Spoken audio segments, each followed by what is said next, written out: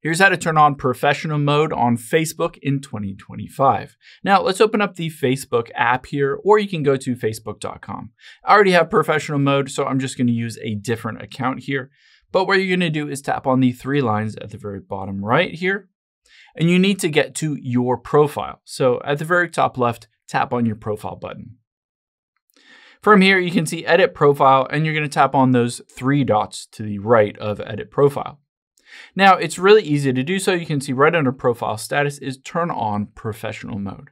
So just tap on that and it says turn on professional mode. You can get paid for content, see content insights, grow your audience. Just hit the blue turn on button and it will walk you through various things that you might want to do. It says welcome to professional mode.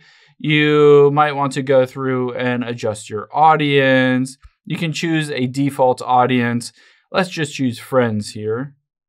And let's just hit confirm and monetization tools. You might not have any kind of monetization tools turned on at the moment. For whatever reason, this is giving me an error, but let's just hop out of here and see if it worked. Let's close out of Facebook and open it up again.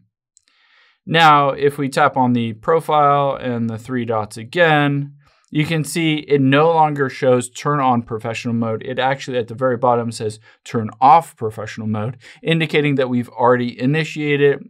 Keep in mind, again, you can go in here and you can check your analytics. You can do all of the various things like run ads. Now that you have a, a professional account, you can have a follow button on your profile. It gives you a lot more opportunities.